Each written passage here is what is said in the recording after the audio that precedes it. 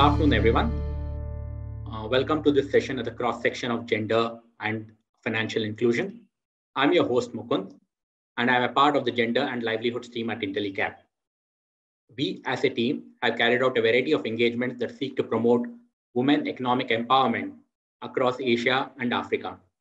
At Sankalp, two, we have a dedicated gender track for the last three to four years. The, the sessions which have seen most interest in the last three to four years at Sankalp have been focused on gender lens investing and also on the um, sort of the success of the microfinance movement. Um, however, there is obviously a significant um, demand for debt capital from women micro entrepreneurs, as well as a significant amount of um, the women micro entrepreneur segment, uh, which is um, sort of which falls into the missing middle. So this session, the upcoming session, uh, builds on recent work done by Intellecap for the IFC and emphasizes the role of debt capital to enhance the growth prospects of such women micro entrepreneurs. The session will be moderated by Samik Sundar Das from the World Bank. Uh, a quick introduction to Samir. Samik, sorry. Uh, Samik brings over 20, 21 years of experience in South Asia, East Asia, Central Asia, and Africa. He is currently a rural development specialist with the World Bank Group and has prior experience working with NGOs in the social development space. He has designed and uh, supported the implementation of large-scale projects on community-driven development, local economic development, and rural livelihoods promotion. These programs have had a significant focus on indigenous communities, women empowerment, and entrepreneurship, as well as in business incubation and enterprise promotion. It's our privilege that Samik has agreed to moderate this session. Before I hand it over to Samik, I would like to encourage the audience to engage with the panelists by uh, posing their questions in the Zoom chat window. Samik will definitely pick up some of these questions and pose it to the panelists at an appropriate time. With that, over to you, Samik. Uh, thank you, Mukund, for that uh, uh, introduction. And also, I would like to welcome all participants and panelists for this very prospective, uh, uh, exciting session on reorienting financial institutions to serve uh, women entrepreneurs. I think this whole topic is very interesting in the current context where we are trying to build resilience around women entrepreneurship and enterprise, women-owned enterprises in India and as we know, this, this segment in, with which we have been working for years now have been trying to graduate into being one of the segments that would create some impacts related to not only income, but also employment generation and, and livelihood creation. Uh, although we, we, there's been a very substantive effort that has happened in India over the last uh, couple of decades, I would say with organizations like SEWA, the NRLM, the IFC, Intellecap have been working to address some of the gaps that we see in uh, ensuring how do we bring this segment, the missing middle, into the financial uh, sector in terms of being credit worthy customers. Somehow there have been various gaps and uh, which could be based on uh, the way we look at this segment to serve in terms of financial services and financial product. Uh, the, the overall policy environment, the ecosystem uh, somehow have been reluctant to recognize because maybe of their informality to address them as potential customers to invest on. So with, uh, and there have been a lot of kind of uh, data gaps, there's a lot of uh, issues related to formalizing them, there has been uh, very few players who have taken the risk to serve this, this segment of uh, customers, if I might say, to, to, to build their businesses and actually grow their business to, to the next level. Uh, and there have been various efforts that's been ongoing to various kind of uh, stakeholders who are uh, part of this discussion today, whom we'll hear, to give us a perspective on what are the opportunity constraints and how do we move forward and learn from each other in terms of addressing the gaps in, in, in this, in this uh, sector of, of including, uh, financially including women entrepreneurs, women and enterprises into financial sector or, or, or making sure they become um, worthy customers of the financial, formal financial institution. Uh, uh, I, uh, the, the, the, objective of this session is basically to ensure that we listen to this esteemed panel of experts who have worked on this sector for a while and have been working to, with, to come up with solutions to these problems that is existing around, uh, around financing women entrepreneurs or, or women own very small enterprises.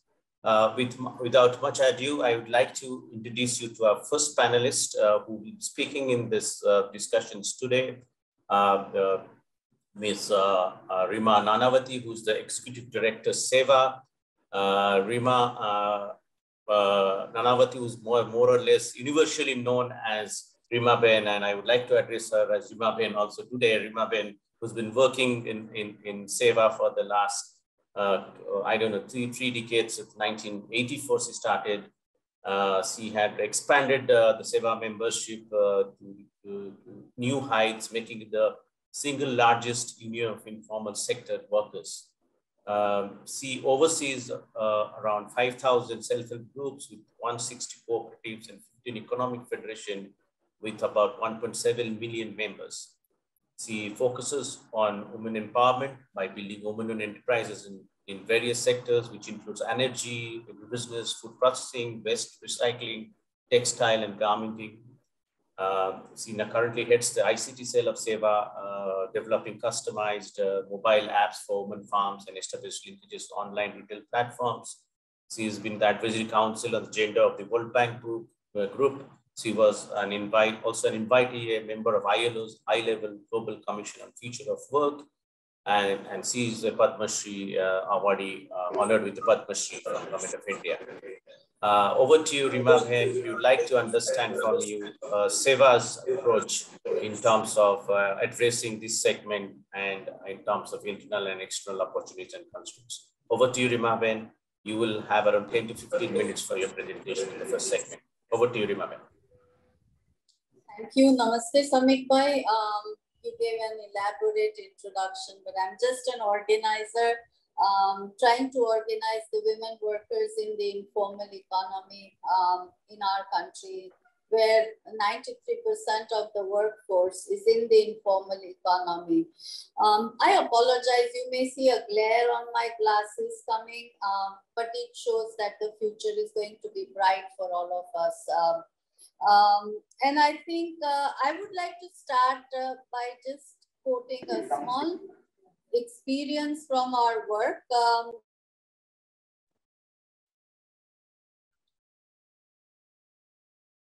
somehow the host keeps muting me. I don't know why.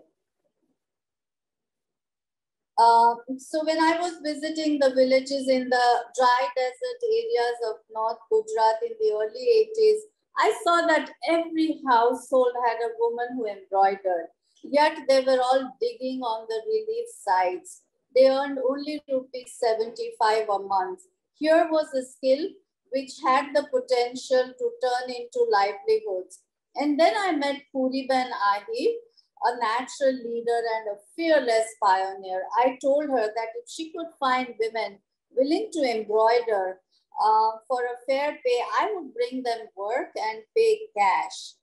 So there started the journey of Puriben with four other women who took on the job of embroidering kurtas like the ones which I'm wearing. And in the very first week, they earned rupees 150, double the amount that they would earn digging earth in a month. Puriben started organizing more and more women with embroidery and other craft skills in village after village. And in two years' time, she had organized more than 15,000 women artisans. The women's embroidery is now the major source of income and livelihood in the area. Almost all the women artisans are illiterate Today, a skilled embroiderer is earning up to rupees 10,000 a month through their own economic organization. Uh, earlier, when the women earned only rupees 75 digging earth, now the families have assets, land, water pump, tractor, house, savings, insurance, children attend school, migration has stopped. Women's employment has brought about a change in the community and in the family dynamics. I'm saying all this because I want to now come to the main point is that by enhancing and building on the skills and the knowledge that a woman already has, she gains confidence in her own abilities. She also gains strength from the camaraderie of other women. So coming together on the basis of work allows to set in motion a transformation of herself and of her community. I think similarly, we need to look at transformation of the financial institutions as well. Where do women like Puriben get this strength? 93% in our country are women like Puriben. That is by organizing. They can tap into their collective strength and know that they are not alone. Once they are organized, the women of SEWA are able to take out small loans, build their businesses, improve infrastructure, create markets, and gain access to healthcare and ed education. They can take on any challenge life brings them. In short, they move out of poverty. Organizing is the key. There's no shortcut. At SEWA, we come together as poor, as women, and as workers. She feels confident that I'm not alone. This has to follow by capacity building as leaders and managers who may manage their own enterprises and need to build women, uh, women-owned and managed enterprises. This calls for a holistic integrated approach which works on building capacities, asset creation, and providing social protection. We at SEWA call it livelihood financing. However, we believe that there is a need for a fund that provides patient capital for these uh, enterprises to go to scale. Capital that is patient with the organizations dealing with the poor and patient with the poor themselves. We need to build a social infrastructure where the poor can absorb this capital at the pace that they are comfortable with and with a sense of partnership. We need a fund that is partly insulated from the volatility of the international capital flows, but is local in nature. A fund that stays invested and is happy with a moderate return than a windfall capital gain that we see a lot of venture capitals, angel investors, and NBFCs are looking for. This is the kind of transformation that the financial institutions need to go. Why do poor only have to have access to loans and credit? One has to look at credit plus, plus, plus, and that too. I think uh, a kind of a financing facility or financial institutions need to reorient by designing new financing instruments and facilities which enable growth from below, which is more sustainable. A fund that will allow the tiny and the micro enterprises of women and poor to scale at their pace and graduate to small and medium enterprises. This will enable the informal sector women and workers enterprises enter the mainstream. And I think post-COVID, we have seen that this is what is the most important and urgent need. Some of the lessons that I would like to share based on our experience is that this kind of a blended finance, uh, a blending of grant, patient capital, and debt is a powerful instrument. Its key contribution is overcoming risk perceptions about underserved markets. It gives the poor and women a fair chance to prove themselves, something that has been denied to them for too long. It serves to address a fundamental inequality of the global financial system. The poorest have to pay the highest interest rates and face the most difficult credit terms. And I say all this based on our experience of SEWA Bank, which today has over uh, 250,000 shareholders and has a repayment rate of almost 99%. So thank you so much. And I hope we will be able to look at these kind of reorientation of the financial institutions and work together and make a difference to the lives of the self-respecting, hardworking, and determined women around the world by helping them with the most important thing, they need a fair chance.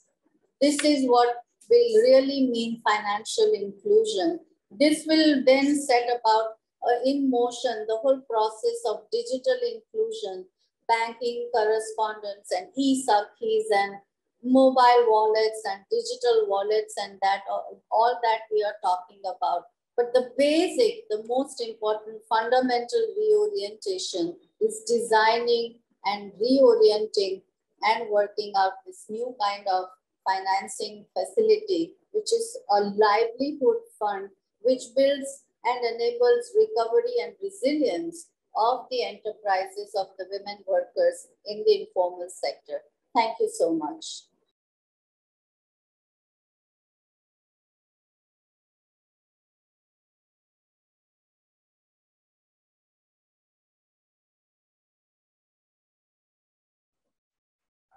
Samika, you are on mute.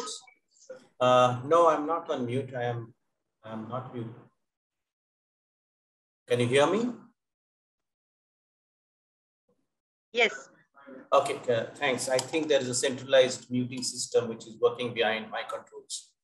Uh, thank you, Rimabain, for that interesting perspective. Actually, you have set the context for the discussion today. I'll just pick a few points that you made one was on the poor can observe capital at the pace they are comfortable with. I think that's a very important takeaway that we might be pushing funds in a way that the poor are uh, at a faster pace than the poor can absorb it.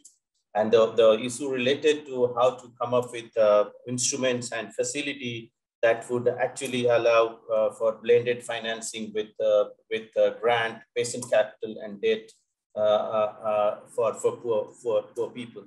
And also the overall overall uh, disconnect or the or the or the uh, uh, market failure in terms of poorest have to pay uh, uh, the most difficult term to pay in most difficult terms in terms of the the, the, the, the debt they take from the markets. So I think there are very critical issues that we need to ponder on and also learn from SEWA's experience and SEWA Bank's work in the in the last uh, many years to see how we can expand some of those kind of uh, uh, innovations and ideas that's been tried out and tested in by SEWA and SEWA Bank. Uh, uh, uh with that, let me move to the second speaker, to, to our, our, our, speaker from IFC, Qamar Saleem, who is the Regional Manager Advisory Services uh, financial institutional group for Asia and Pacific and global lead for SME and supply chain finance practice at the International Finance Corporation, IFC, a member of the World Bank Group. In this role, uh, uh, Qamar heads IFC's financial institutions advisory service business spanning across nearly 40 countries, covering over 200 financial sector clients and providing technical support across 10 thematic areas. Uh, and uh, Qamar has over 27 years of experience in diverse commercial banking and business transformation initiative globally. And, and he's, uh, he's uh, comes with a lot of uh, you know, experience and learning from various, various sectors, which include uh, MSME, SEF, climate, digital, housing, agri, gender finance. Over to you, Qamar. we would like to understand the IFC's perspective on the problem that we kind of try to articulate in the beginning of the session. Over to you, Qamar. Thank you. Thank you, Samik. I, I hope everyone can hear and see me. Give me a thumbs up if you can. Uh, thank you. So uh, first of all, many thanks uh, for having me today and uh, Rimabain. Uh, always a pleasure to hear from you. And thank you for so wonderfully setting the context of today's uh, discussion. I think you've kind of set the stage and I'll pick it off from where you left in terms of the discussion. So what I'll try to do today, and Tanushri, I think I'm a bit old fashioned, so I'm going to put up a PowerPoint and show you some visuals uh, which will be relevant for our discussion. Uh, but I want to cover, uh, in my presentation, I'll cover six main aspects today. I think why is there a business case for financial uh, institutions to be reorienting towards serving women entrepreneurs? Where are the market opportunities specifically to India? What challenges exist that need to be resolved? Uh, who are going to be the key solution providers, how uh, can financial institutions adopt impactful strategies, and in the end, I'll briefly cover uh, what IFC is doing. So let me take you through the, the why and the where and the what and the who and the how in my presentation of uh, about 10 to 12 minutes. So if I start with the with the why, the business case, and and, and we hear that a lot in our interactions with financial institutions. Uh, if you can move to the next slide, on what really uh, is the business case, and it's not it's not a social uh, element that you have to uh, address. There is a financial business case or targeting women entrepreneurs as a segment. And why do we say that? I think I'll, I'll bucket my uh, I think, response to more in terms of five buckets. I think one is the opportunity profile. There's $158 billion financing opportunity for financial institutions to really tap. Second is the critical mass. Uh, MSMEs, women-owned SMEs, are nearly more than conservatively 20% of the population. Thirdly, we see segment solution uh, possibilities when we see uh, concentrations in a few geographies. Uh, so hence, you know, segment solutions possibilities exists with certain geographical concentrations. Fourthly, uh, let me also highlight that how underserved uh, this segment is. Rima Ben kind of touched upon it, but let me give you some statistics. 90% of the women-owned SMEs still rely on informal financing and two out of three don't even have a bank account. Uh, so you can see the amount of underserved uh, uh, population that sits in this segment. And while I, we heard from Rima Ban in terms of 99% plus uh, repayment rate, our own analysis at IFC shows nearly 40% NPAs are 40% lesser for women-owned SMEs based on the uh, IFC data and public sector data that we have collated. They're actually a better risk profile. So there is a clear business case for financial institutions to consider this as a market opportunity. Now let me transition to, so we talked about why, why is there a business case? Now let me transition to where, where are these women-owned SMEs? And, and we see two, three main segments where they are more concentrated. One is really the informal space. We have a large population in the informal space but also we are looking at informal, uh, beyond informal into micro enterprises. The micro graduates is another segment uh, that, you know, we, and we are seeing them hit a glass ceiling. Um, uh, and, and that's one thing we are trying to resolve. And then there is a segment called very small enterprises. And this is, you know, where we are seeing the new missing middle. Uh, because that's the space where banks are unable to downscale and microfinance uh, institutions are unable to upscale. And that's really a space where we feel a lot of opportunities exist. And we've tried to uh, define that space. And, and the way we've kind of looked at it is uh, loan sizes of between $1,000 to $15,000. So let me on the next slide, uh, Tanushree, if you can, uh, uh, let me go deeper into the where, where are these um, enterprises? And we have actually conducted a research together with Intellecap, um, as well as you know with the Department of Economic Affairs, on where are these women-owned very small enterprises, as I've mentioned in my previous slide. Uh, so you see that we've kind of defined them uh, uh, in terms of loan sizes between INR 200,000 to 1 million, less than 20 employees and annual turnover of between 1 and 5 million INR. So that's the way we have a working definition around uh, this segment. And we've seen that as per the research that there are seven main segments highlighted on the slide, which comprise nearly 70% of the women VSEs, which is manufacturing of textile, textile and wearing apparel, uh, wood products, manufacturing, uh, retail of food and grocery, uh, jewelry and accessories, uh, retail, beauty salons, uh, and personal services, food and beverages, and education services and pre, uh, preschools. Now, one thing we would like to highlight here, and in a lot of times we've seen financial institutions do not draw a distinction between manufacturing uh, women uh, VSEs and services women uh, VSEs. And from our research, it clearly shows the kind of the nature of the, the product needs, the proposition needs, um, as well as the term uh, of the need uh, in terms of financing is different in both these segments, and that needs to be taken into account. Moving on to the next slide, let me now transition into what are the challenges that the women uh, VSEs are facing. And let me divide them into four main buckets. One is social biases. Second is around having the right solutions. Third is having access to non-financial services. And fourth is around business management tools. So, and, and you see some of the examples listed here in terms of, and these are quite peculiar in terms of challenges that women VSEs are facing in the market. Um, and uh, you'll get the presentation, but let me highlight that these are distinctly different to some of the other segments that we've seen. But one thing that we have seen over the last two years, uh, we call it a pandemic of inequality. For the women-owned SMEs and women enterprises, the pandemic has uh, impacted, impacted them disproportionately. And why do we say that? I think one, uh, they are heavily reliant on household income. So there's a reduced fam family income that is playing a key role. Secondly, they have reduced time uh, because of uh, family and needs that they have to take care of. They have reduced amount of time for their business. And thirdly, they have reduced business in terms of the overall pandemic has uh, disproportionately reduced the amount of businesses that can be done, especially which are not online businesses. So, uh, so we, I'm really happy to see that we have players like uh, Equitas, uh, SEWA, NRLM, MasterCard on the call today, because you know I, I see a, a, high level of awareness into some of these issues to resolve it for the betterment of the women-owned uh, VSEs.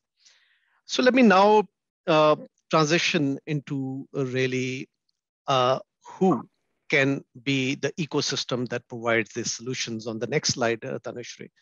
Uh, uh, let me highlight uh, what are the, while it's a busy slide, but let me simplify it for you. I think there are four main um, ecosystems and solution players that can come into play.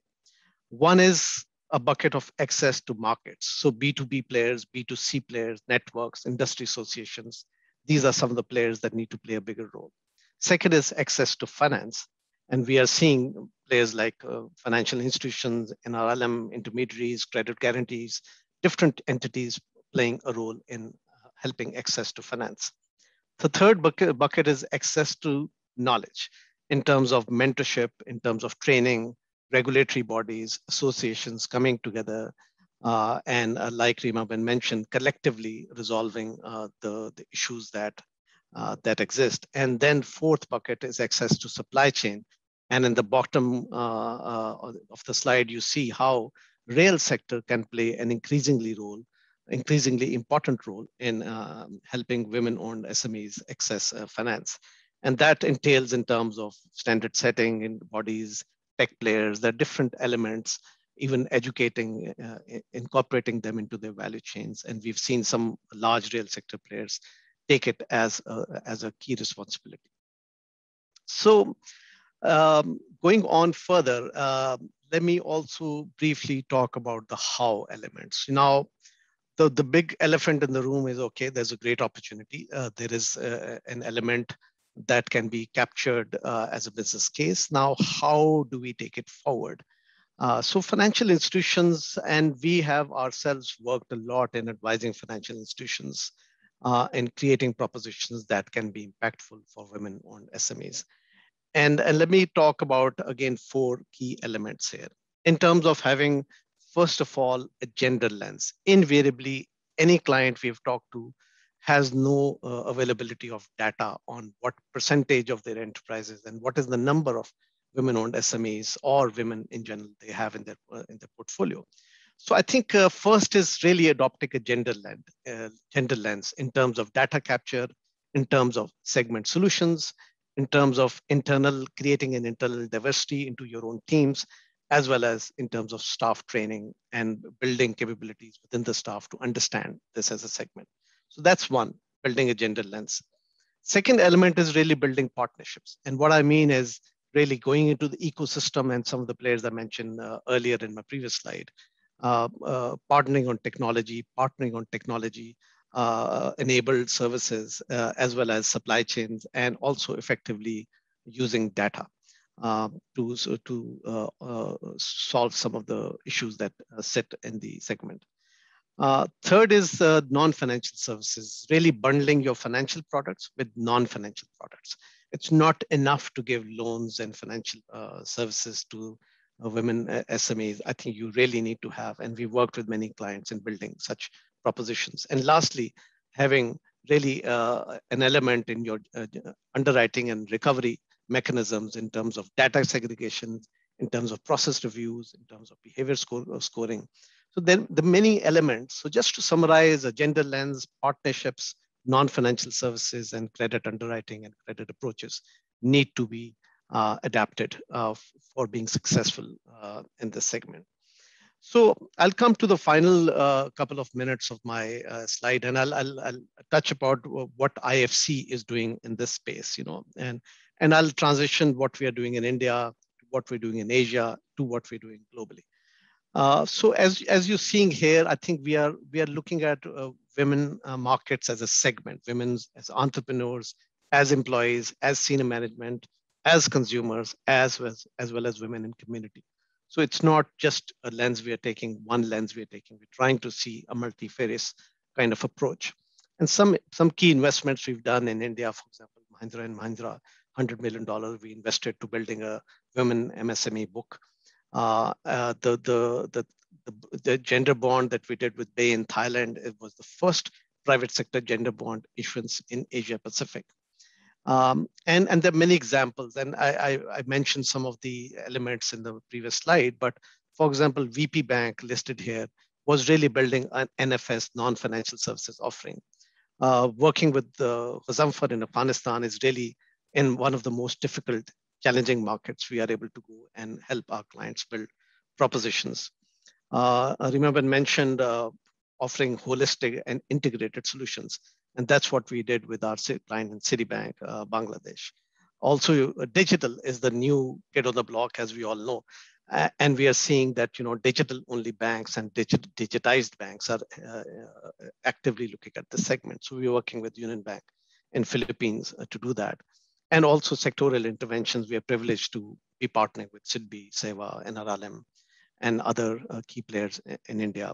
Uh, so post what we are seeing going forward are four or five main areas we are focusing on. One is post-COVID recovery. Uh, uh, in terms of how do we support women-owned SMEs in particular uh, recover from the COVID losses. Uh, secondly, digitally enabling them.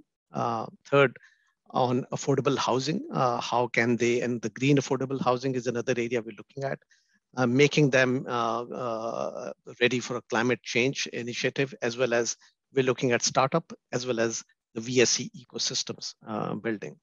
So finally, let me uh, highlight that we we have a global track record on the last slide, uh, Tanushree, if you can please go to my last slide. So this is just, just a map that we are truly global in terms of helping our clients, not only in Asia, not only in India, but globally. Uh, we have $2.6 billion commitments. We have invested in 89 uh, financial institutions in 41 countries and advisory services, which we see almost needed in almost every intervention we've done on the investment as well. We have worked in uh, with 52 of our clients, 33 countries. And some of the names are listed here. Some additional names on Asia are also listed here. Uh, so I, I, just want to kind of, you know, end with uh, saying that uh, where I say it as gender advisor, as advisory manager, and gender is one of the uh, pillars of our strategy. Uh, we have really been looking in enhancing our footprint on providing advisory and making sure a gender component is added to almost every project that we've done. so in, in, in, the in the last in the last uh, in the last one year, uh, we have the new projects that we booked uh, are all 89% of them are actually linked to linked to gender work that we are un undertaking and advising clients on building gender propositions. So in the end, I just want to again thank uh, the organizers for inviting me here. It's a privilege to be part of such uh, an esteemed panel. And we, as IFC, remain committed to supporting gender inclusive financial services for women in India, in Asia, and globally. Thank you so much. Thank you, Qamar, for that very structured and uh, the framework was so well laid out in terms of uh, the business case. And I like the way you went into the why aspect, why the business case is so important to look at in terms of how this can be reoriented overall towards the, the news, new uh, missing middle, which you called as the women on very small businesses. I think many of us are struggling with uh, looking for solutions in this segment, particularly the way you defined it and highlighted in your presentation. But also what you did next was the challenges brought out in a very, very categorized way in terms of how we can look at the challenges in certain blocks. And then looking at the uh, who aspects, who are, who in the markets we are working with, who are the, uh, what are the access issues, how we can, how we can uh, link to build uh, from a gender lens, how to work with the ecosystem with partnerships, and, and very importantly, it's not enough to just give loans, but the non-financial services and the credit underwriting aspects and, and, and good to know the IFC's uh, global footprint and the, and the kind of work you're doing in South Asia and specifically in, in, in some of the countries in, in, in India, in Afghanistan, in, in very difficult contexts. So thank you very much for that uh, very overarching, but uh, very, uh, very kind of uh, structured presentation, which give us a framework to think through and look towards solutions on this uh, kind of problems we are facing in this, on this topic. Uh, with that, I would like to uh, move to uh, our, our, next speaker, which would be uh, uh, Mr. Murli Vaidyanathan, who is the Senior Vice President and Country Head, Equitas Small Finance Bank Limited. Mr. Murli Vaidyanathan is a strategic banking leader with over 20 years of success in setting up branches, business verticals, and driving product innovations and profitability. Prior to joining Equitas Small Finance Bank, he worked with uh, Kotak Mahindra Bank, ICICI Bank, and Citigroup. Uh, he is known for being both people and process-driven person with a sound understanding of Indian financial retail market by designing customer-centric products, analyzing market trends, limiting expenses, and identifying areas of opportunity. He has completed general management programs from IIM, Ahmedabad and certified professional in investment compliance and operations from AML and financial management. Murli, uh, we would like to understand uh, from you on the Equitas uh, uh current uh, uh, areas of work on addressing some of these gaps that we highlighted at the beginning of the presentation and, and also try to link to what Reema Ben and, and Qamar presented in, in their presentations. Over to you, Murli. Thank you, Samik. Thank you all. Hope I'm audible. Hmm? Yeah, thank you.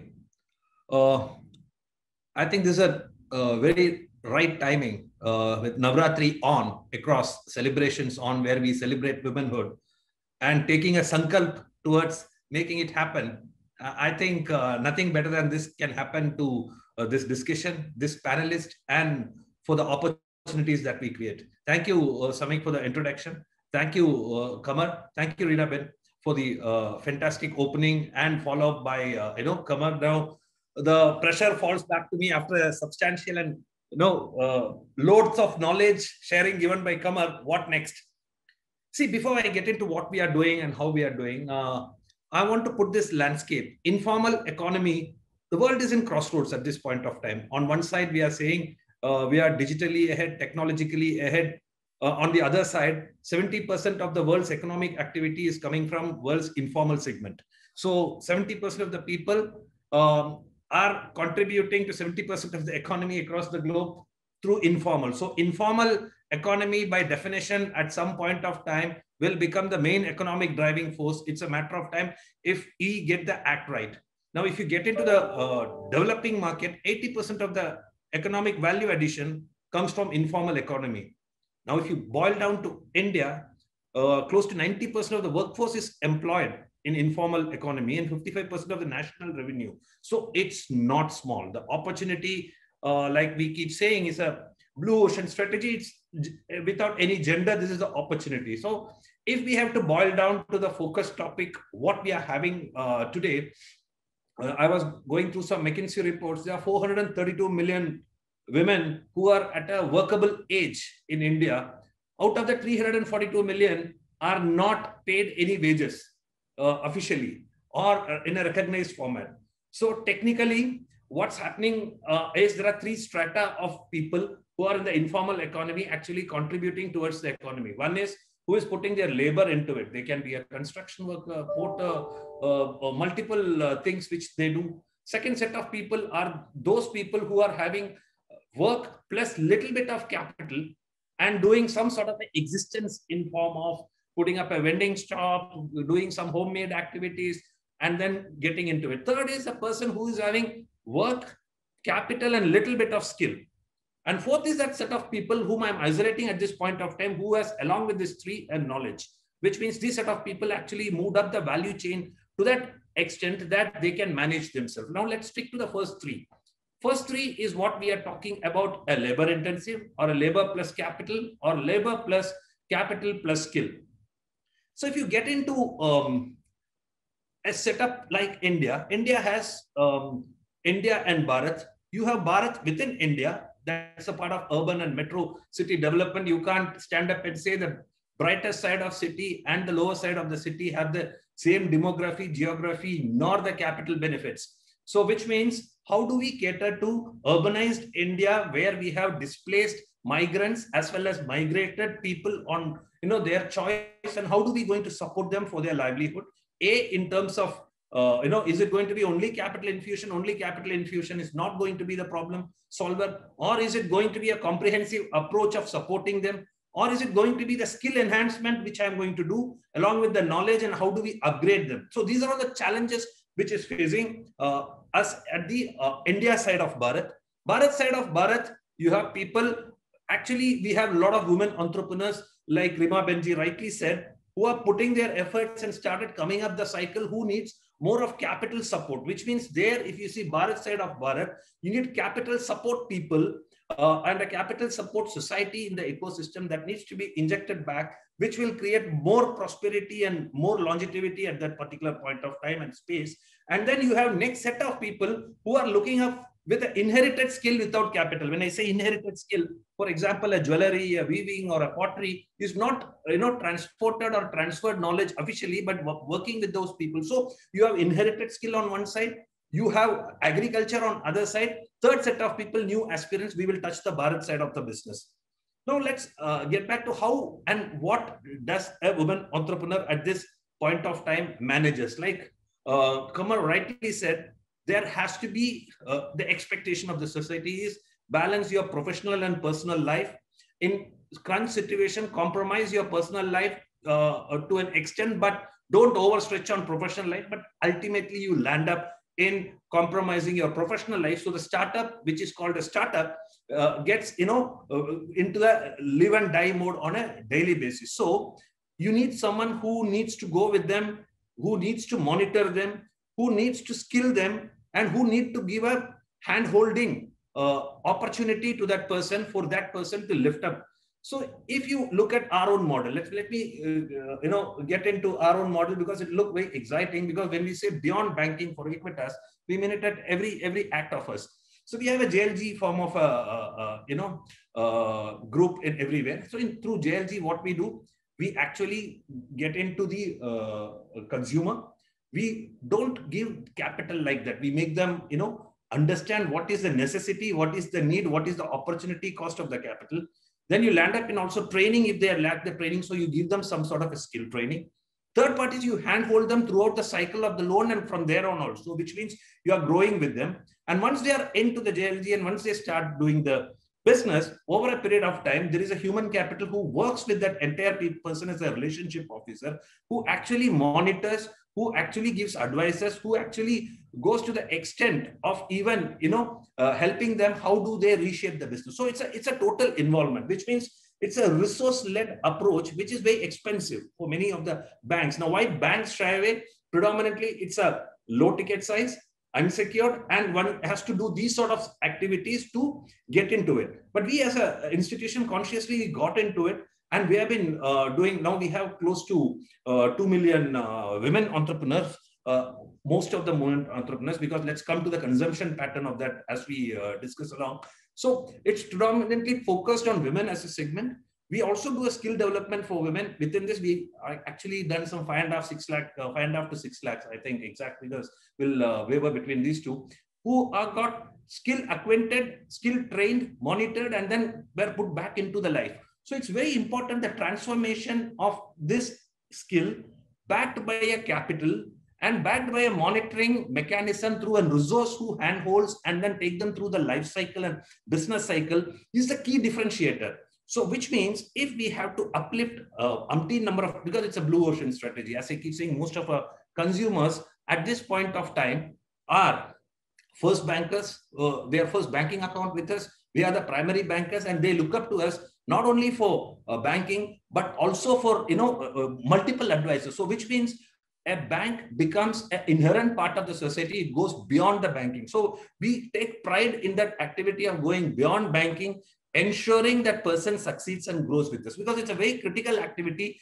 So if we have to cover villages after villages after villages, the approach needed is we need to create a mechanism where uh, institutions commit uh, resource, commit capital, get into it and get into skill training. And most importantly, uh, you grow with the consumer and not we don't go with the thing of profitability per customer. How do we make the ecosystem viable for that particular uh, set of people to actually come and grow? Because the biggest differentiator in coming days is going to be how these ecosystems can self-sustain over a period of time.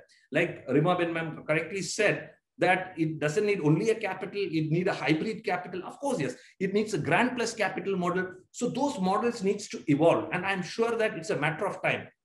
But at this point of time, immediate requirement for them is, can I get into a micro banking sort of activity? Because most of them doesn't have a credit history. Please remember, unlike a organized segment, which we are talking about, where you go get into multiple scoring patterns, scorecard patterns, here you have to go with the feeling understanding. So which means understanding the need of the customer and tracing a customer is art and science. So now can I track a person's credibility based on their payment pattern, based on the transaction pattern, based on the electricity bill? So multiple things one need to get integrated so that I actually evaluate a person based on certain pattern. So I cover mass set of people. That's going to be a big differentiator. Second biggest need is can we convert this entire microfinance into a OD product so it becomes a revolving affair? It becomes life becomes far more easier for them. And third important thing, what I see is these people we need to help them to educate on how to save and how to protect.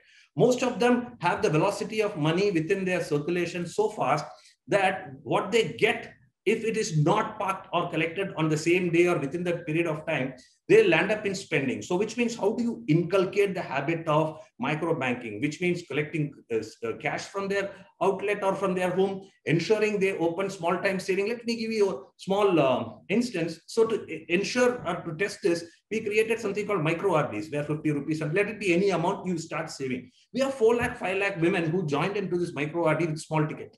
So it's very important you create a model and you back it up with you know a platform sort of a technique where i feel complimented and i feel you know supported immaterial of ticket says i am facilitated. I am appreciated i am encouraged. So the cost of doing one transaction might be greater for a bank but we are not bothered about it because we want to ensure that it's not only capital infusion or debt infusion it's also helping them how do they save and go about because there are a lot of short term needs so we have facilitated micro banking as a concept. So I think going forward, micro banking as a concept, relationship officer for multiple JLG as a concept. And third important thing is, as they graduate from level one to level two, how does the bank play a role of migrating up and up the value chain? Which means there are a set of people who are grown with us who came and opened up with a small utensil. Today owning a small uh, uh, you know say a tea shop or a small restaurant you have migrated those customers from there. So it's uh, banking beyond banking what when we say that it's the progress it's the fair and transparency what which means whatever the terms and conditions we interact with them has to be very fair and transparent to an extent that they know what they are uh, you know into so we created and we went to an extent of creating an app or a QR code where they just scan it and see it or download the app. They know what is their interest, what is their interest payment they are doing, what's the outstanding. So which means it, it, it has to be made very simple. Today, as we expand uh, the market, as we expand the segments, the critical need of this segment is how do I impart more and more skill? For the skilled team, how do I impart more and more knowledge? And for the knowledge and skill and labor, how do I partner in progress to create a marketplace for them to succeed? So this is going to be the next step of activity where we need to interconnect villages, interconnect uh, entrepreneurs and create entrepreneurial success stories across in such a way that they are molded and protected. Now there is a second set of uh, people where we need to give a skill that is the next gen. Uh, when we talk about this generation at the demography level, you will have someone between 35 to 45 for what we are saying. For the present gen, we need to give them new age skill training also. So we are already into the journey. So it's a comprehensive cloud platform, uh, not only for uh, IT or digital at the back end, at the front end, how do we create the interface? How do we create micro banking as a success? How do we create savings as a culture? How do we protect them? How do we put a relationship management structure at a low cost model which can integrate JLG or individuals to prosper with it? So along with this, only we can get the informal economy into a slightly formal mode. With that note, I sincerely thank you all. Thanks, thanks, Murli, for that uh, very uh, kind of uh, overall picture and, and, and, the way you put it about the labor intensive plus capital plus skill plus knowledge kind of a, approach to look at the customers in terms of uh, how do you approach them basically and also the uh, joint liability group approach you follow in beyond banking kind of, uh, of, of serving your customers on skills capital and mentoring is, is key differentiator that you said in the in the blue ocean strategy you spoke about and also about uh, micro banking and going to saving and, and actually protecting uh, that uh, the, their finances basically. Overall, I think it's a it's a very interesting example to look at Equitas in terms of uh, how you have clubbed non-financial services with your financial services in a way to graduate and migrate people from small businesses to to, to be growth growth enterprises in a way in terms of scaling up a very interesting perspective. I think there will be some questions coming to you as we move along in this session. With that, I would like to move on to our last speaker in this session, uh, which is uh, Alison, uh, Alison Uh, uh, she is the Vice President of the MasterCard Center for Inclusive Growth. Uh, she joined uh, uh, in 2017 to open the center in Asia Pacific. Allison leads the company's regional philanthropic initiatives. Allison brings significant industry and global international development experience, having worked at the intersection of development finance for over 20 years. Prior to MasterCard, Alison was part of the inaugural team that launched Grow Asia, a multi-stakeholder agriculture partnership catalyzed by the World Economic Forum and the ASEAN Secretariat. Alison also worked in impact investing and spent the majority of his, her career at the US Agency for International Development where she mobilized 2.8 billion in domestic private capital for local development projects. She is an advisory board member of ANDE South Asia, uh, Southeast Asia chapter and is on the advisory committee for the ANDE Gender uh, Equality Action Lab. She is also a member of the Business for Social Responsibilities Catalyst and Apparel and Manufacturing Industry Steering Committee for HER Finance. Uh, with that, I hand over to Alison to take us through what the MasterCard Foundation's work that is happening and where, where she will bring her perspective of bearing on what has been spoken and looking at what areas that we have not addressed in the problem statement we kind of discussed in the beginning and, and give her perspective to us. Over to you, Alison. Thank you so much. Um, and I have to say, I agree wholeheartedly with all my panelists. Um, it is really we're speaking to the choir um, amongst ourselves.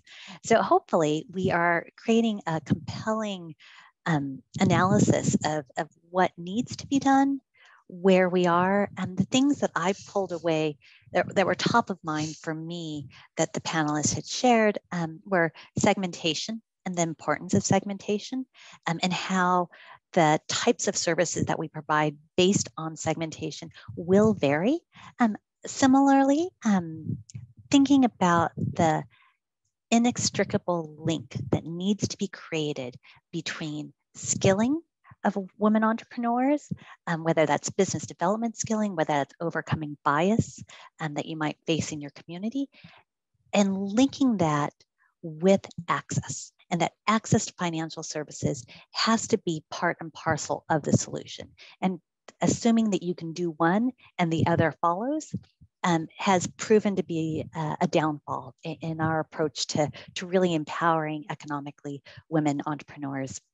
And I think the other piece, which is really where I wanted to start, was really looking at the whole supply chain of financial service providers and making that certain that whole supply chain is geared and working for that last mile woman entrepreneur. And what does that mean?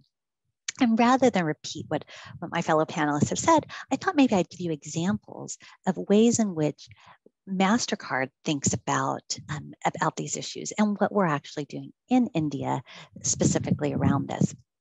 The one thing I will say is um, I'm actually not with the foundation. Um, the MasterCard Foundation is huge. Um, I actually represent the MasterCard Center for Inclusive Growth, which is the philanthropic hub of the company. And, and why that's important is that we deliberately and intentionally sit between the business um, of MasterCard and the foundation, which is wholly philanthropic. And we leverage the assets that the company has in order to achieve scaled, um, commercially sustainable approaches to creating social impact.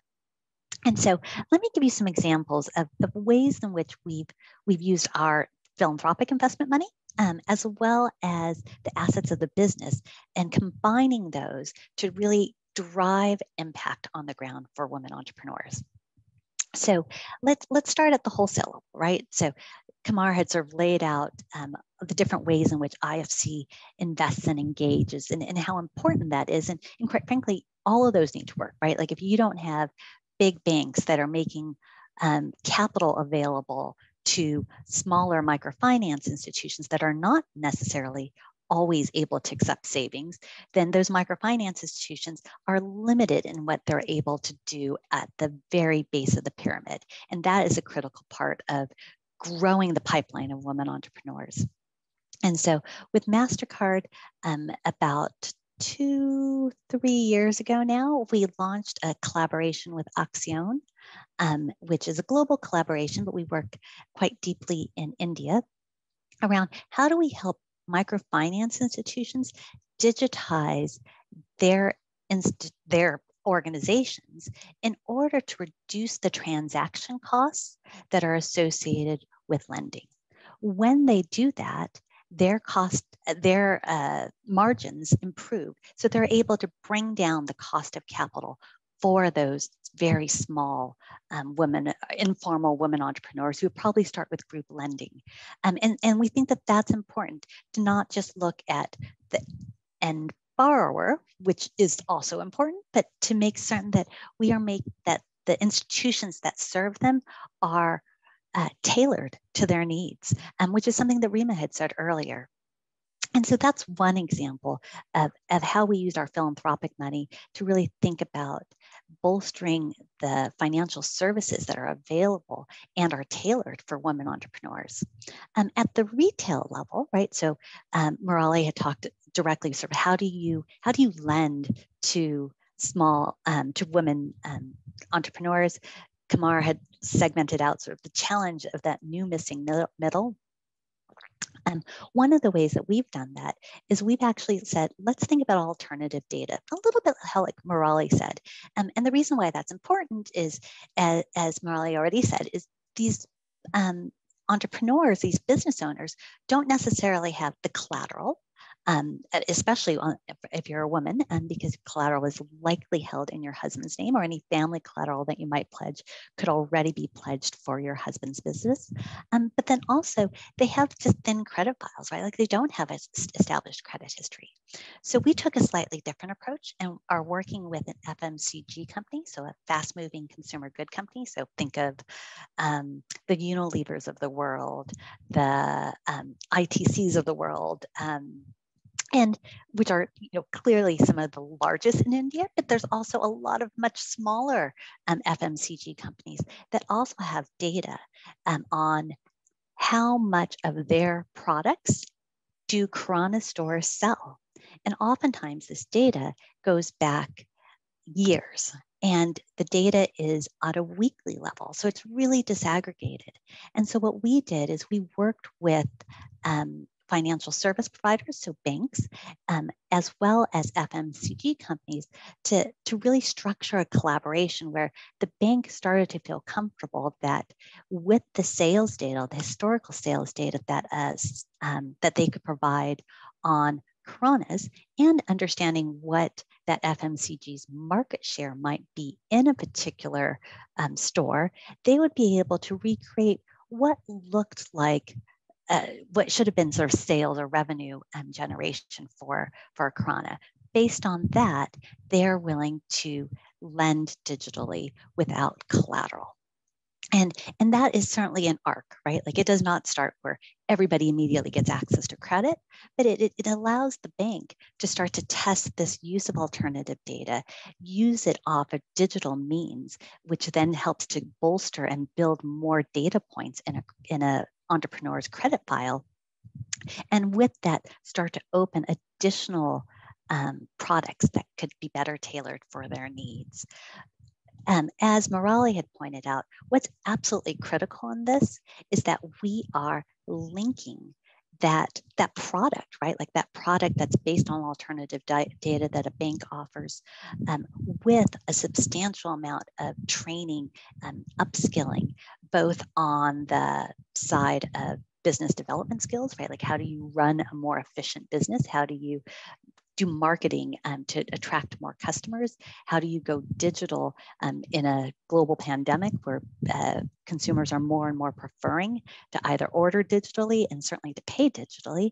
How do you do all those business actions? But then also, how do you um, how do you work with your family and your community to help them understand the value as a woman entrepreneur you bring to the household, the respect that you deserve, um, and, and ensuring that there's not this community pressure or social bias that um, can derail success. Um, and so, how do we do that all together? That particular um, support we actually are doing with USAID and we collaborated with them with the idea of let's create a program that specifically calls out women-led Kiranas and help to bolster them. And as Qamar had said earlier, there's clearly an important, important role for inspiration as well, right? Like we want to inspire other women-led Kiranas um, or women who are running the Kiranas, but maybe it wouldn't be considered women led, to be able to take a more prominent role. And then the last example that I'll give is truly around that entrepreneur. And as it's been pointed out a variety of times, uh, the skilling piece is important and that we do need to think about how do you how do you do that and how do you do that at scale? Because at the end of the day, there's never going to be enough donor money available to train each and every single person who needs to be trained on all the variety of development issues that are there without us um, reimagining what that could look like. And so we launched um, just a couple weeks ago a new program that's called Strive that really focuses on how do we take learnings in the digital space, how do we apply those into the development space in order to grow small businesses, and, and how do we start to reconceptualize what training could look like and what uh, and taking the best practices of development and starting to apply them in new and um, different ways. And we're really excited about that initiative. And as a technology company in the payment space, it, it certainly plays to um, our narrative, but but we also fundamentally think that if we're going to see change at the magnitude that is necessary for 50% of this population on this earth to succeed, we're going to have to start thinking about development um, in new ways. And one last thing that I'll say um, is uh, in the next week or so, um, we will have a really big announcement of another um, idea or another um, initiative of how do we unlock more financing that's tailored for women businesses. I'm not quite at liberty yet to, to share the details, but I wanted to flag that since this is a community of folks who are committed to this, um, this space. Thank you. Uh, thank you. Thank you, Alison, for that uh, very uh, kind of, you brought out three cases to four cases to bear upon your presentation, which gives us an actual flavor of what is what is going on ground and how you are trying to work in the digital space and how you're using data points to really uh, uh, kind of have an own collateralized products to, to, to support various women entrepreneurs in the Kirana, Kirana story, as well as what you're doing in the Strive program in reimagining how you look at digital digital space in terms of uh, reconceptualizing trainings and, and, and, and servicing many of these women entrepreneurs. And we look forward to the new product launch pilot that you just spoke about, and really want to see where it, where, when it starts and where it goes and learn from the same thing. Thank you. Thank you very much, uh, uh, Alison, and all the four uh, panelists who have very elaborately uh, provided your perspective on how we address the problem statement that we discussed in the beginning of the session. Now, what I would like to do in the coming seg segment is to ask uh, each one of you to pose a question to, to your fellow panelists, basically. Uh, for that, I would like to ask uh, uh, Reema Ben to ask to Qamar a question that you think after her presentation what what is that would be that you have in mind after listening to Qamar? Over to you, Reema Ben. Oh, thank you. You gave me a great opportunity I was waiting for. So thank you so much. And I think my question to you, Qamarji, would be that, you know, IFC has been supporting um, to strengthen SEWA and its social enterprises and go to scale. And this has been a phenomenal support. And I think uh, one of the key was um, in building the appetite of the micro enterprises and also give confidence to the financial institutions. Uh, do you think that when we all are talking about new economic pathways, uh, and as Muraliji was also saying that the financial institutions uh, are ready to come up with innovative financing instruments or facilities um, to take on the risk and challenges of such partnerships with women's enterprises in the informal sector. And as Mr. Murali was saying that, you know, if informal sector is 90 or 93% in India, that's the mainstream. So I think that's that's why it's now time that, you know, um, we do come and take such bold measures. So my question was that. Yes, Qamar, over to you. Thank you, Reema man. Again, a very difficult question, but let me let me try and articulate in uh, two, three different ways. I think first of all, uh, the financial institutions are they really ready? Um, yes and no. Uh, I, I would say that a lot of financial institutions are dealing with a lot of complex issues at this point in time, in terms of you know pre-COVID and and I'll be a bit realistic about you know how uh, financial institutions are. I think they are dealing with uh, many significant issues. and I think there needs to be a, a high amount of advocacy. If we were doing 1x adequacy, I think going forward we'll need to do 2x adequacy uh, to, to make sure that you know they, they actually embrace that. Level of awareness, uh, yes, is very high. I think from what I've seen, there is an intent and there is an appetite to go into this. You know, but I think how to go into that, that's, that's the other element that we have to consider. And let me broaden the financial institution space a little bit because we see banks, we see microfinance enterprises, we see NBFCs, but there are new players we are seeing in embedded finance, for example. We are seeing e-commerce players. We are seeing, you know, technology providers. And especially when it comes to the very small enterprises, the informal enterprises, I am seeing we we did a hackathon together with APIX and uh, Women's uh, Alliance, and you uh, I think you may must be aware of that. We see very very interesting technology solutions coming through uh, for, for women enterprises, and I, I I believe it will have to be a collective force. Financial institutions, NBFCs, and MFIs, technology players, e-commerce players, alternate finance providers, rail sector players, I think they really all have to come together. So I think as an aggregated players, there will be a solution. Uh, but uh, the banks, uh, uh, there's a there's a question on the chat which I'll answer later. But there are many banks uh, that have created pathways in the country, and I feel, in particular in India, there needs to be one or two couple of really large institutions that have to set the trend, which I have not seen it happen so far. Uh, we've seen it in many other, like Itaú in Brazil took on and they took off, you know, and then many, many banks followed after that.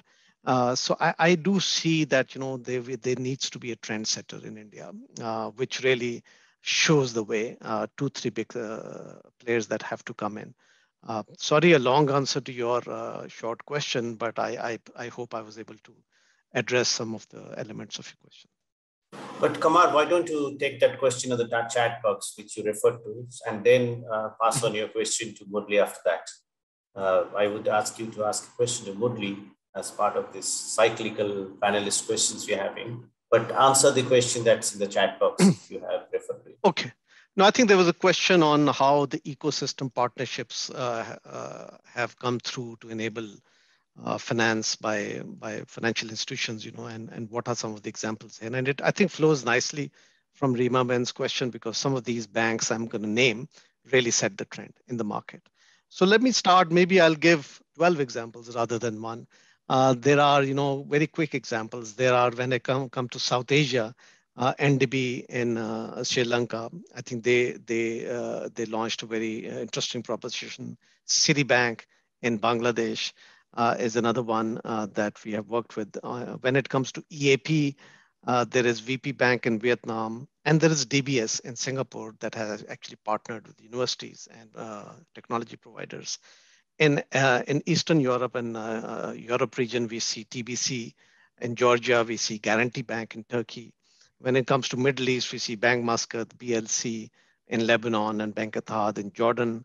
Uh, then we have Access Bank in Africa, as well as we go to Latin America. There is BHD Leon in uh, Dominican Republic, and there's Itaú in Brazil. Uh, so these are some of the examples of the banks that, that have, but let me bucket what they've done. You know, and there are five different kind of partnerships they've formed. One type of partnerships is with the universities. So many banks have actually formed partnerships with universities and created peer programs. And DBS is one example. HBL in Pakistan is another example. So the many examples who've done that. That's one bucket. The second kind of partnerships with specialized training institutions. Um, and that's more physical brick and mortar kind of training. That's the second bucket of training. The third is around online uh, training. Uh, I think there are many online training providers these days. So that's the third kind of partnership. Then there are tech uh, partnerships like APIX in Singapore and some others have done that. And the fourth is mentorship programs, you know, where you have a pool of mentors helping. So these are, maybe I've missed out a few and uh, uh, Reema Bang will know more than me on this. Uh, but uh, I, I, I, think these are some of the buckets I've seen in partnerships that have come through. So let me end there. I think, uh, and I'm Harry, I'm happy to share more details with you as you, if you like. Uh, so let me transition and shift the gear a little bit and put the question to Murli. Um, because, you know, uh, what we have seen is, you know, a pre-COVID and a post-COVID regimes. So I just want to ask you, Murli, you know, and from where you sit, what were the three or four trends that you were seeing pre-COVID and how do you see them changing post-COVID in terms of financing to women entrepreneurs going forward? Thanks, Kumar it's a very uh, open-ended question to be very precise. We can go on and on, eh? But let me try to uh, discover three parts. But uh, as we know, the norm got shaken up. Uh, COVID-1, we got into a new norm. Then COVID-2 came, again, new version of the newest norm came into existence. So one good thing that has happened is uh, digital adoption. Uh, the one which would have taken quite a lot of time, at least we are three, four years ahead in terms of Bharat, in terms of, um, if you categorize uh, into two buckets, as I said, one is skill plus knowledge and only skill. Uh, we never thought skill set of people will uh, migrate into a digital solutions far faster, which means they're able to download the app, they're able to see, they are able to transact, they are able to remit money. They are got into a habit of making digital as way of life. Now, this is an elementary skill. Now, if I have to uh, use this skill to create the next level of activity, what it has propelled us is uh, we are already working on something called merchant app, which means anyone can download an app, can start doing their transaction, can start. It is for most of the kiranas, which means any kirana, any street side vendor, we want to get into that aspect where uh, you create an app, it becomes um, uh, you know uh, one point of solution for banking in fact you go to an extent of start loading od limits or the uh, uh cc limits or uh, term loan up to a small ticket seeing the transaction pattern maybe in one two months. So this ability to adapt has made us to rethink and start working on a project. This is a one win-win situation on either side. The second thing what i have seen is uh, protection. Along with our account, we used to give uh, IHO, that is Indian Health Organization, uh, a free consultation. Many people have started doing, uh, you know, a teleconsultation with doctors. Uh, very, very surprising part to take prevention, to get into the hygiene aspects of life. So the second aspect of me to survive in this business my health and my well-being is also as critical like any other capital activity is a next big discovery and that we have done it again through digital mode to reach out to most of the people through the uh, digital channel saying that you leverage on this you will get the benefit so this has also increased the aspiration level towards protection which otherwise if you see um, uh, if you visualize a bharat in india which is that uh, uh you know uh, payment uh, slum the hygiene and sanitation by itself is a very expensive proposition. Leave about the business dynamics. So if hygiene and sanitation is getting a key focus because of corona, it's a second big development and that leading to a health insurance uh, sort of a package. I think that's a second encouragement which I have seen, which means women not only got into digitally savvy, finally started worrying about their health and their family's health, moving towards uh, digitally banked solutions for protection and also doing teleconsultancy. This is the second thing. Third important thing is most of the borrowers have started saving on a day-to-day basis. As we know, any pandemic, endemic uh, sort of a situation can distort lives for all these informal sectors. It can distort one lockdown, one flood, uh, one uh, fever. It can actually put a halt and then they restart. So they know when the, they are at the lowest end of the supply chain, but the economic activity of the supply chain kickstarts from them. So it's imperative for me not to come into a grinding halt. Let me start saving. So most of the people who were actually reluctant to save have started blocking their uh, throughput or profits back into the accounts. And that's a very encouraging sign. So these three things, digital, second, health becoming forefront and focusing on sanitation and protection as a theme, you know, going to the extent of, you know, uh, forcing us to private IHO to give a teleconsultation and third step is saving. And all these things has put us into three different situations for create solution. One is we are creating a merchant app through which we will correct the ecosystem, through which we can make them transact, save, as well as you know get into all the other value added services so it has given us a good challenge and an opportunity on either side i hope we leverage on it and we create a very uh, you know good solution by partnering with most of the big uh, you know organizers above us thank you yeah, thanks. Thanks. Thanks, thanks, Murli. Murli, there is a question on the chat box for you before you ask your question to Alison, which yeah. is about what would the profile be of such an advisor to the woman entrepreneur? At which phase of the WE cycle would you say such advice is most required? So can you take that question and then direct your question to yeah. Alison? Yeah, yeah. See, uh, this is our traditional thinking model uh, where, you know, uh, where we say, when I look up to you, when you uh, see you with a problem, then I'll start giving an advice type. In a um, informal economy, that's I call the informal world, okay, every interaction is a value addition to the other person. That's the fundamental role of the banker. The fundamental role of a banker when you meet in a formal is you sell your products, you sell your transaction towards profitability as a motto. Here, every interface, the consumers are interacting their biggest expectation out of me is the what's the value addition I'm going to give. So for someone, it can be, uh, for example, we we have trained six lakh women. Okay, six lakh women uh, we have trained. Uh, so if you uh, ask me uh, why did I train them candle instead of basket it's there based on their interest. So as the RO keeps interacting, for someone the training will start on minute one. For someone it will be on day one. For someone already trained will come into a loan proposition also. So it's a very parallel different world. So as I said in the beginning, 70% of our work, uh, you know, entire workforce and entire economic activity is generated there. And there we need to get slightly more deep rooted and more institutions should barge in so that, you know, we actually uplift. And uh, so this training is not based on life cycle or customer life cycle management. It can be instant and we continuously train people. Few of them can come into and become our customer. So it's a very dynamic process. We are not fixed.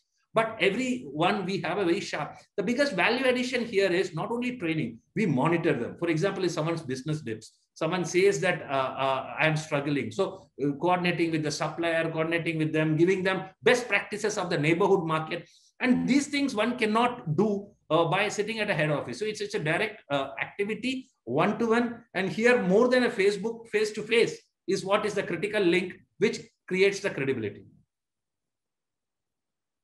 Okay. Can you can you now ask your question to Alison? Alison, I just want to explore from Mastercard's perspective. In a supply chain linkage, uh, if you take the front end of the consumer is the last end of the retail chain. And unfortunately, they make the lowest of the margin at this point of time.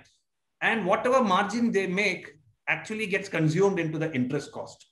So is MasterCard or any card issuer going to work on buy now, pay later only for these set of mass front-end uh, you know, retailers so that when it get integrated with the merchant app which any bank develops, it becomes a win-win proposition so that you have credit-free opportunity backed by a credit given by the bank, then these people can look at a bigger growth. Can we get into this sort of, uh, you know, uh, what is a formal hybrid products development done by you or your team? That's a great question. It's a hard question for me to answer just because I'm not on the product side. Um, but I know that buy now pay later is a concept that has rolled has been tested and rolled out in a variety of different countries um, it, and you're right it, it it solves a challenge that the very last node in that supply chain grapples with and i think that that's really important i think as we think about the supply chain there's other spaces there that you could also imagine um, where digitization can help to streamline and better allocate value. Um, so certainly B2B um, payments, for example, and ensuring that the smaller um, business in that B2B relationship is actually being paid more efficiently, faster. Um, so they're having, um, they're not having to carry some of the uh, inventory costs that oftentimes are pushed and, and really trying to um, create efficiency in that space. And I think those are also areas that are, are vitally important as we think about how do we come together with really an all hands on deck approach to solving the challenges that women entrepreneurs face and at the very smallest level, but all the way through.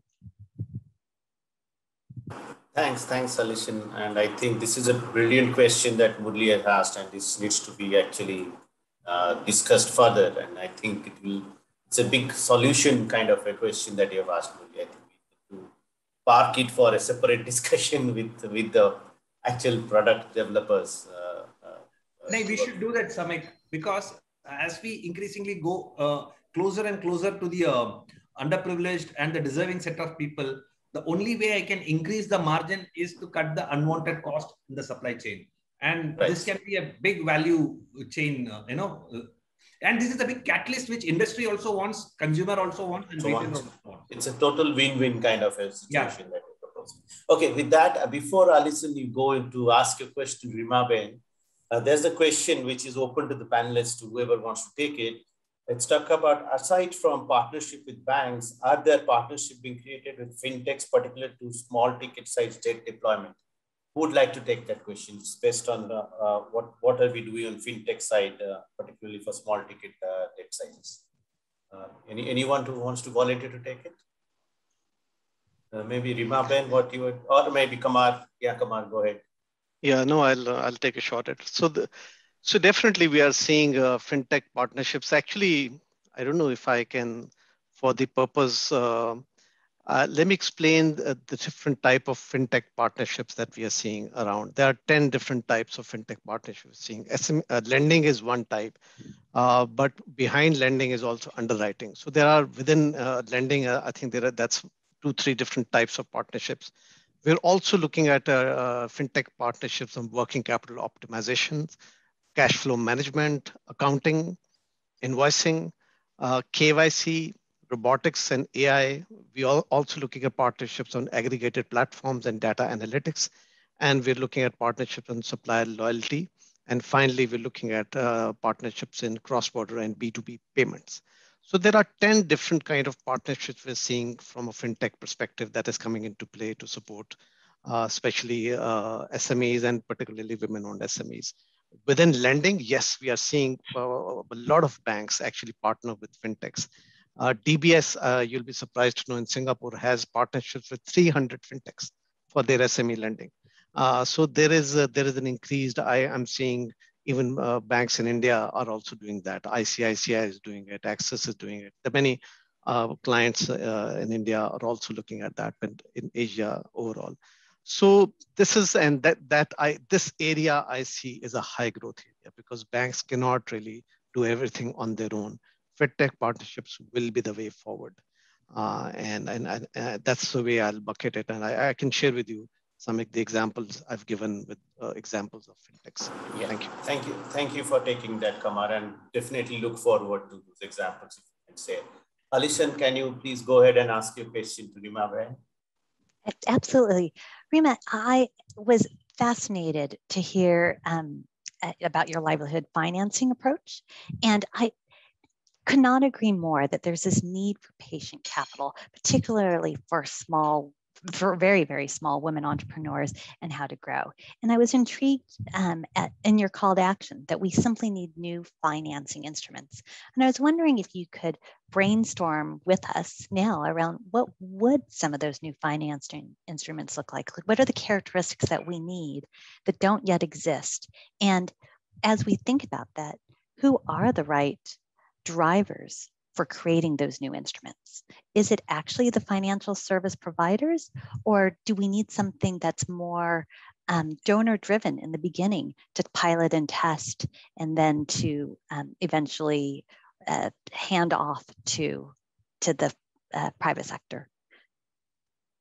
Uh, Reemaben, you may have two minutes for this because we are closing to four minutes to closer. So, so I'll be very tight. Sorry about that. Oh, thank you so much, Alison. Maybe I would request Sankalp to have a session on this in their next uh, uh, conference because that was one thing I missed out on saying. But I think um, definitely, I think uh, there there are there is a need for this kind of an instrument because the existing ones mainly help in unlocking capital, which is a lending instrument. And what we are talking about is a blended pool. Um, so you also, as you know, Murali was saying, you need grant and you need to bundle it. So a credit plus, plus, plus. So you need a bundling of it. And I don't think there are any instruments available right now that will help you unlock both these kinds of things. And that's why the need. So SEWA is piloting a livelihood relief and recovery fund right now. And we have, um, as you rightly said, you know, we have three foundations who have taken the risk, and I wouldn't say it's a risk, they will get a huge reward out of it as well uh, in helping us pilot the livelihood uh, re recovery and resilience fund. So um, that's where I think I would leave here, Samik by two minutes over, but a great challenge for Sankalp that next session has to be on this livelihood uh, recovery and relief fund, and you only would moderate it, Samik Bhai. Thank you so much. Thanks thank you, thank you, Reema Great pleasure.